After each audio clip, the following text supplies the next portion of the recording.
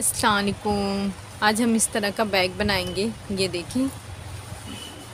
ये देखिए इस तरह से। काफ़ी बड़ा और काफ़ी चीज़ें इसमें आ सकती हैं। ये देखो, ये ट्रैवल के लिए इस्तेमाल हो सकता है। हमने, देखो, एक पॉकेट यहाँ बनाए हैं। एक पॉकेट यहाँ बनाए हैं। और ये हमारी मेन जो है, वो है। ये देखिए, काफ़ी बड़ी है। और यहाँ ये हमारी दो पॉकेट हैं। तो आज हम इस तरह का बिग ट्रैवल बैग बनाएँगे, जो बहुत ही इजी है। तो चले, आज हम ये बनाना सीखते हैं। तो सबसे पहले हम उसे बनाने के लिए इस तरह का पीस रेडी करें। ये मेरा मेन फैब्रिक है रबर शीट आपके पास जो भी अवेलेबल है, वो करें। आपके पास राइस बैग है, आटा बैग है, या फिर बुकरम है तो आप, उसका भी इस्तेमाल कर सकते हैं। ये देखो, इसका मेज़रमेंट है। इसकी लंबाई मैंने ली हूँ ten point ten, five inch. और इसकी चौड़ाई मैंने ली हूँ एटीन पॉइंट फाइव इंच। इस तरह से हम ये, यहाँ पर इस तरह से फोल्ड करेंगे। यहाँ पर ऐसे। और एक निशान लगा देंगे इस तरह से।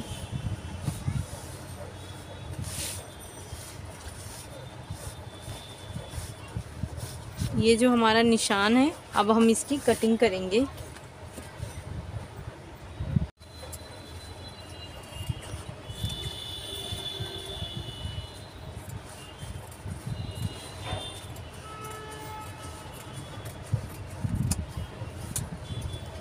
ये देखो, इस तरह से ये हमारी कटिंग हो गई है। अब इसके बराबर का हम ये ज़िप लेंगे अपना इस तरह से। ये मैंने पाँच इंच, हाफ़ इंच एक्स्ट्रा ली हूँ, ताकि कम या ज़्यादा कर सकूँ। और उसके देखो, ये लाइनिंग वाला पीस का भी मैंने इस तरह से कटिंग कर ली हूँ।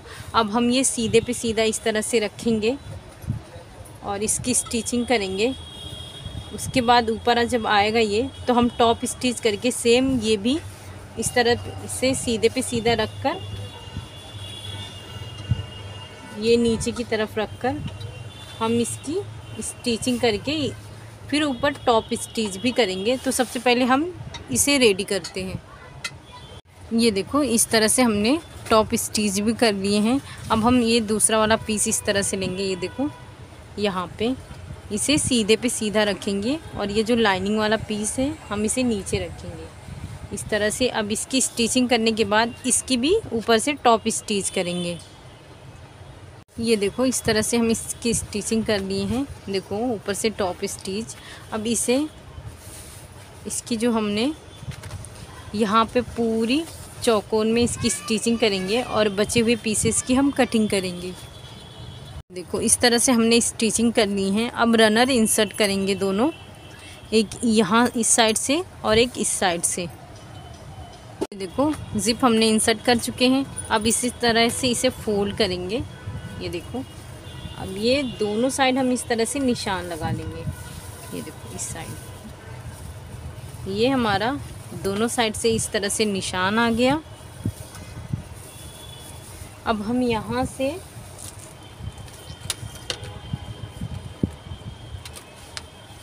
यहाँ से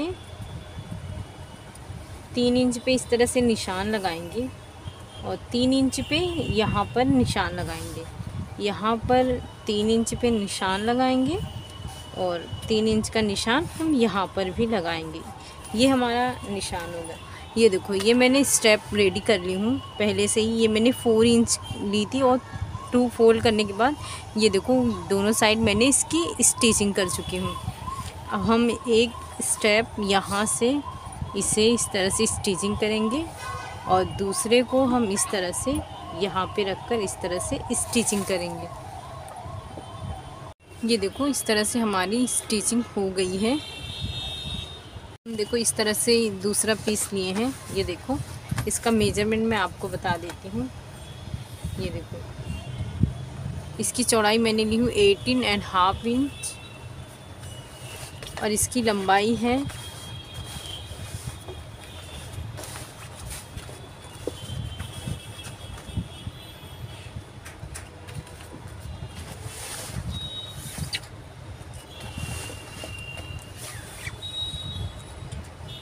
thirty six and half inch ये देखो, इसके अंदर मैंने, ये मेरा मेन फैब्रिक है, ये मेरा लाइनिंग वाला पीस ये मेरा रबर शीट है। लाइनिंग वाला पीस ये देखो सेम इसी मेज़रमेंट से हमने इसकी कटिंग कर ली है। अब हम यहाँ यहाँ पर, ऊपर के साइड से हम दो इंच पे निशान लगाएँगे, इस तरह से। इस तरह से निशान लगाने के बाद हम इसकी कटिंग कर देंगे। और फिर यहाँ पर हम ज़िप लगाएँगे। ये देखो, इस तरह से हमने कटिंग कर दी है लाइनिंग वाले पीस की भी हम कटिंग कर ली है।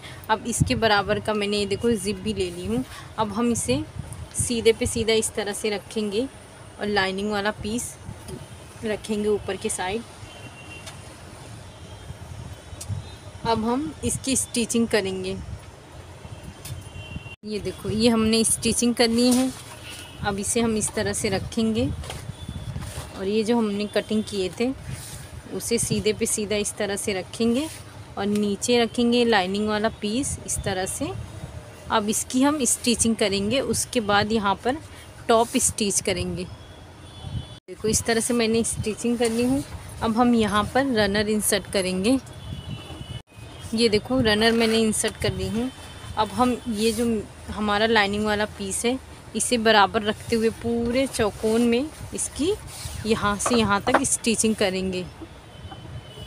तो ये मैंने लाइनिंग वाला एक पीस ली हूँ, ये देखो, इसका मेज़रमेंट इसका मेज़रमेंट है इलेवन इंच हम इसे इस तरह से ज़िप के अपने नीचे रखेंगे इस तरह से, ये देखें, यहाँ पर।